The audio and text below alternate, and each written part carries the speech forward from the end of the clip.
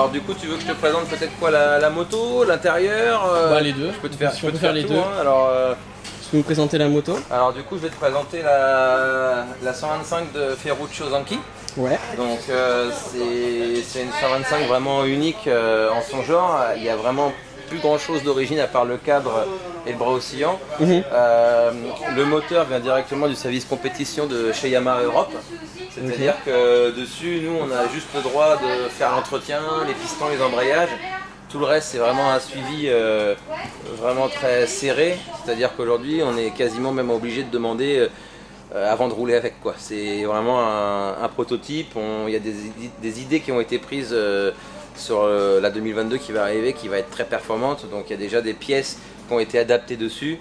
Donc voilà, j'en sais pas beaucoup plus, mais tout reste euh, à l'image euh, Yamaha Europe bien sûr avec euh, le, nom GYTR. Donc on a la ligne d'échappement, on a les, carters GYTR, on a la culasse, on a également le CDI, tout, est estampillé GYTR parce que ça vient du service compétition Yamaha Europe. D'accord. Après au niveau châssis, on a gagné beaucoup de poids partout. On, gagne entre 6 et 7 kg. Donc je pars sur 6 parce que mais on a gagné entre 6 et 7 kg sur toute la moto. On a, comme tu peux le voir, on a, on a la boucle arrière qui est en carbone. Donc ce qu'il faut savoir, c'est que vu qu'elles sont faites sur mesure, en fonction de la taille du pilote et de ce qu'il préfère, on peut en choisir une 1 cm plus bas ou une 1 cm plus haut. Ça peut euh, entre les gabarits des fois, parce que moi je m'occupe des gamins qui, comme Ferruccio qui arrive à 14 ans, donc Ferruccio lui il a une taille normale donc ça se passe bien. Mais généralement, des fois, il y en a qui sont vraiment petits euh, et ça les facilite l'adaptation de 80 à 125 avec un arrière de, de 4 plus petit des fois. On a un réservoir aussi euh, qui est plus petit que l'origine, donc toujours pour gagner du poids.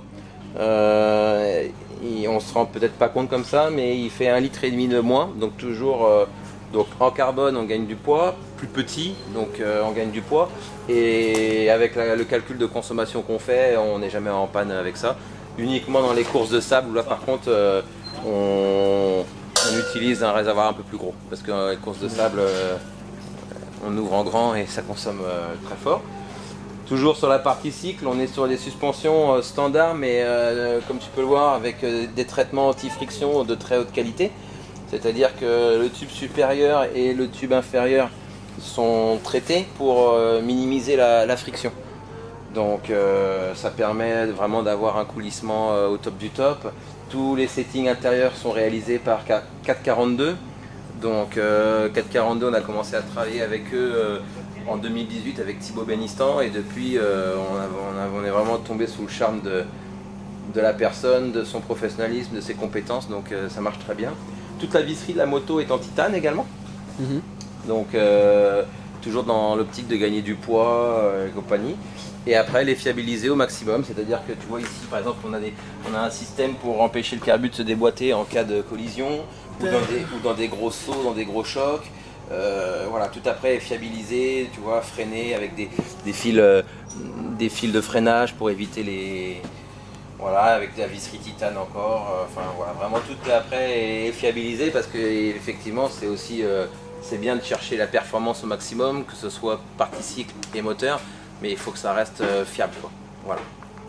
voilà ce que je peux te présenter un peu pour, euh, pour la moto. Euh, vu qu'on est sous le haut vent, j'en profite pour te montrer un petit peu donc l'espace. Ici c'est l'espace de travail. Mhm. Donc en fait ici comme tu peux le voir, bon là on n'a pas, vu qu'il n'y a personne qui roule, on n'est pas en formule course, on a adapté un petit peu pour l'événement, mais sinon voilà, il y a le box à Ressulis là-bas où on peut voir sur son banner qui a son nom. Mhm. Là il y a le box à Bonner, et là-bas il y a le box à Zanki.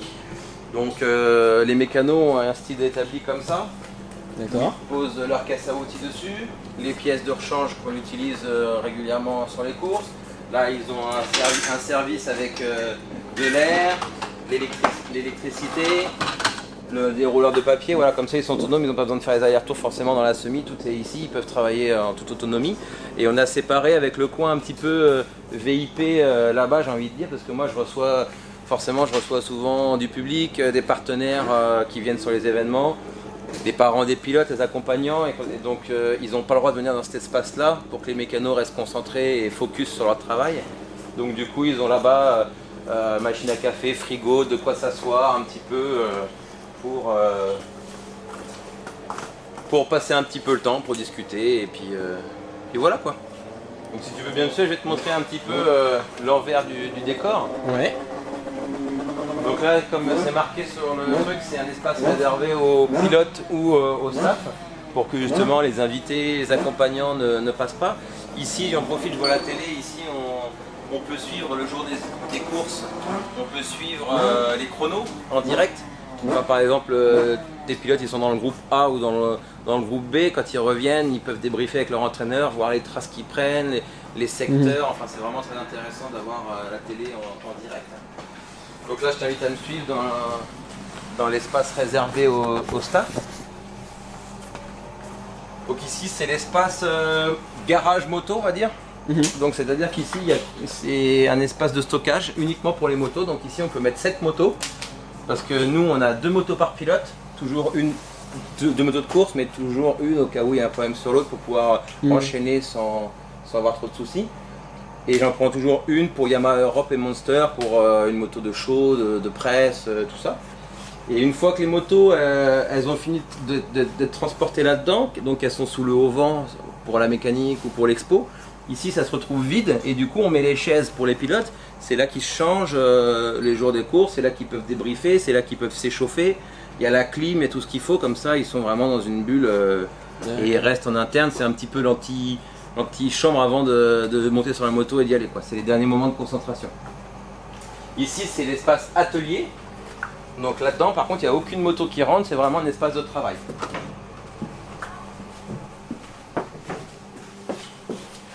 Voilà, donc ici, on trouve un, un établi où ils peuvent travailler à deux, de- à deux euh, sans, sans problème. Et on a une fontaine pour nettoyer tout ce qui est, euh, tout ce qui est pièces, euh, tout ça, un étau pour travailler correctement, des placards avec des pièces. Là, il y a les radios. Euh, là, on trouve, euh, on trouve des pièces. Là, il y a des, vous voyez, c'est des pièces en carbone Mhm. de ce côté-là, avec les protections. Là, on a les, les mousses de guidon. Là, on a des embrayages, euh, parce que forcément, ça utilise un peu d'embrayage avec les juniors.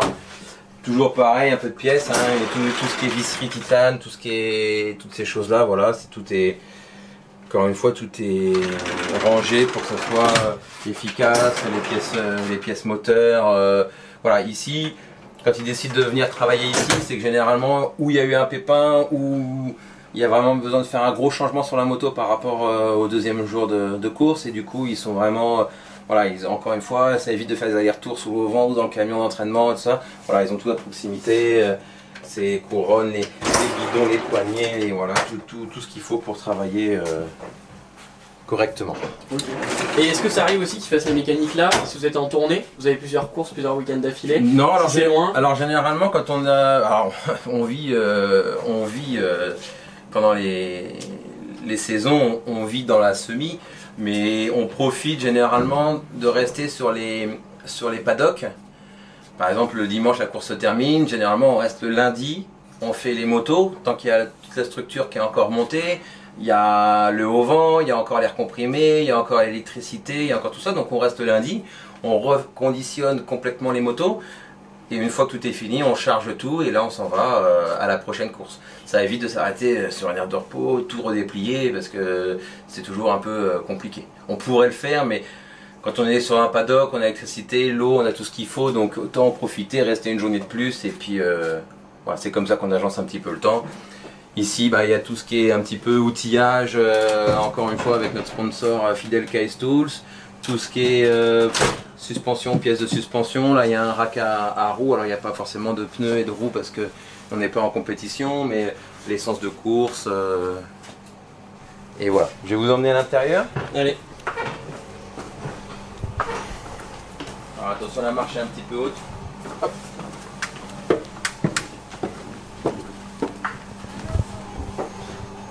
Alors voilà, ici donc c'est la partie cuisine, même si on fait pas beaucoup la, la cuisine parce qu'on a une hospitalité, euh, euh, un restaurant qui nous suit sur, toutes les courses de championnat du monde, on a un restaurant. On a quand même une petite partie cuisine si le soir euh, les mécanos veulent se faire un petit truc ou le matin pour déjeuner, c'est assez, euh, agréable. Ici c'est le point briefing. Donc c'est-à-dire que c'est là qu'on se retrouve, euh, c'est là le soir qu'on discute un peu de la journée, comment elle s'est passée, on discute euh, le matin aussi, à ce qu'il faut faire attention, pas faire attention et compagnie. Euh, on a aussi du coup une télé ici euh, pour, euh, pour suivre les chronos, pour suivre toutes ces choses-là. C'est là que je fais mes meetings aussi avec mes partenaires, avec Yamaha Europe sur le développement, les choses, tout ça. Donc on a une partie assez sympa pour faire ça. Ici j'ai une chambre avec deux, deux couchages. Mhm. Le lit de mon fils avec mon fils qui dort. Voilà, qui se réveille. Désolé. voilà, c'est- le direct. hein. Et puis là-bas, on a le, le- donc la cuisine, on a la salle de bain et les lits des mécanos. Donc euh, là, il y a quatre lits. Mhm. Il y a quatre lits. Et puis ce qui est agréable, c'est que bah voilà, le soir ils se couchent, ils ferment, ils ont leur intimité, euh, ils ont euh, ils ont leur téléphone, ils ont tout ce qu'il faut, voilà. Et puis si le matin ils n'ont pas eu trop le temps de comment dire de, de faire un peu leur lit ou quoi que ce soit, ils ont chacun une penderie avec leur, euh, leurs affaires euh, pour euh, les courses. Ici c'est les toilettes et derrière moi bah, c'est la douche. D'accord, super. Voilà la visite un petit peu. Bon, bah merci en tout cas, Loïc. J'espère que ça vous a plu et puis j'espère qu'on va se voir très bientôt à tout le monde. On a hâte que les courses reprennent comme avant pour, pour vous, vous voir. Voilà. Merci, Loïc. Allez, au revoir.